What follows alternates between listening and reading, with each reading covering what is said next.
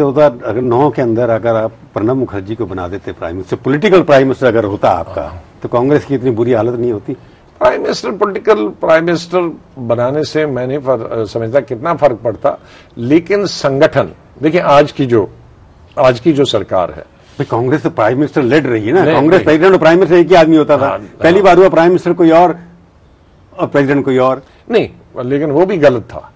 वो भी गलत था कि प्रेसिडेंट और प्राइम मिनिस्टर एक होना क्योंकि समय नहीं होता।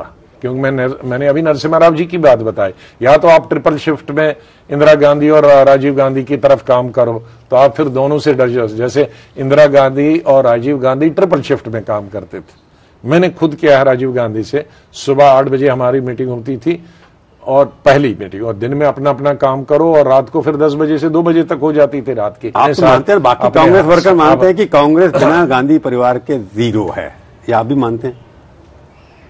देखो गांधी मैं परिवार कांग्रेस भविष्य की बात कर हूँ, क्योंकि आप कांग्रेस में रहने वाले हैं ऐसा आपने कहा। कांग्रेस और गांधी फैमिली इनसेपरेबल है। इनको दोनों को अलग नहीं किया जा सकता।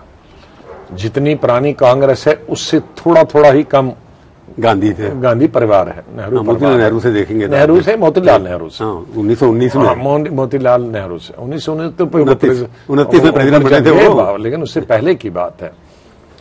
तो इसलिए उनको अलग नहीं किया जा सकता। उनकी कुर्बानी को भी अलग नहीं किया जा सकता है। नेहरू और नेहरू और मोतीलाल नेहरू की कुर्बानी को भी अलग नहीं किया सकता। दे इतने आज की स्थिति में आज की स्थिति में कौन इतने? संपन्न थे वो।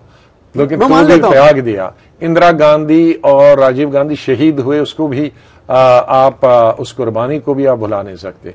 Mrs Gandhi prime minister candidate होकर जीत के सब हमारी पार्लियामेंट्री पार्टी ने इलेक्ट किया फिर भी कहा मैं नहीं बनूँगी। ये तमाम चीज़ें हैं। मैं आप आप इधर ले जा रहे हैं मैं उधर ले जा रहा हूँ। आपको आप मेरे को बताइए कांग्रेस दुर्दशा के लिए अब अब अठारह साल से गांधी परिवार इसके ऊपर पच्चीस उन्नीस सौ अठानवे से लेकर के आज दो हज़ार बीस है। आप राहुल आपकी स्थिति जो है आप आप मुझसे ये कहलवाना चाहते हैं कि गांधी परिवार को हटा दो दूसरे को प्रेसिडेंट मैं नहीं कह रहा। जिम्मेवार कौन है? मान लीजिए बनाई भी लीडर होता है हमेशा जिम्मेवार आपकी पार्टी में कहते हैं लीडर जिम्मेवार नहीं है हम जिम्मेवार एक लीडर से भी काम नहीं बनेगा। आज अगर गांधी परिवार को हटाओ दूसरे को बनो तो भी काम नहीं बनने वाला।